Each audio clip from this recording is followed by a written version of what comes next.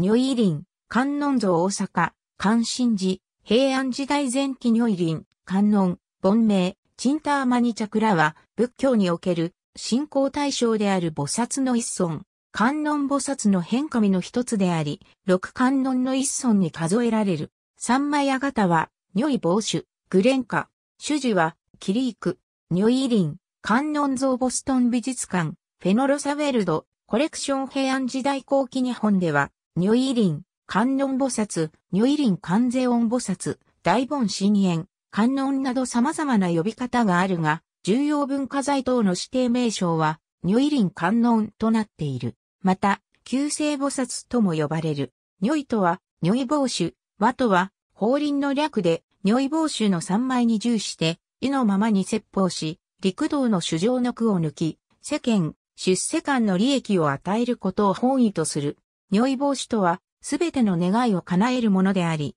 法輪は元来古代インドの武器であったチャクラムが、転じて、煩悩を破壊する仏法の象徴となったものである。六観音の役割では、天上界を節化するという。如意輪、観音像は原則としてすべて座像、または半化像で、立像はまず見かけない。片膝を立てて座る六匹の像が多いが、これとは全く像用の異なる二匹の半化像もある。六匹像は六本の手のうちの二本に、尊名の由来である、如意帽子と法輪とを持っている。日本における、如意輪、観音の作例のうち、大阪、関心寺元尊像は、六匹像の代表作である。六本の手のうち、右第一手は方に当てて師匠を示し、右第二手は、強前で、如意帽子、右第三手は外方に垂らして、数珠を持つ。一方、左第一手は手のひらを広げて地に触れ、左第二手は未開磁気蓮華、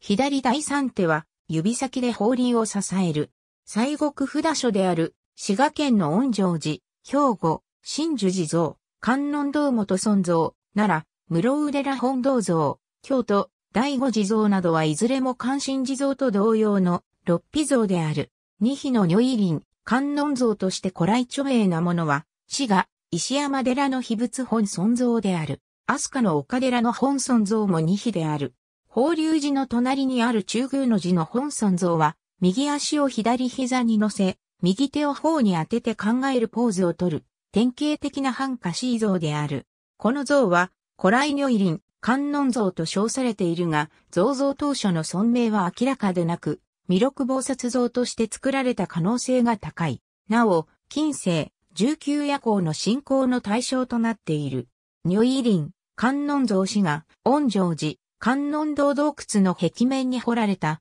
如意林、観音、地獄谷石窟仏、伊藤城、七観音経天宗応募輪郭松原康道、観音菩薩修営者如意林、観音 AB、印と真言の本、学研、2004年2月、P103 羽田守会、あなたを幸せに導く観音様、応募輪郭、2014年5月、P97、ありがとうございます。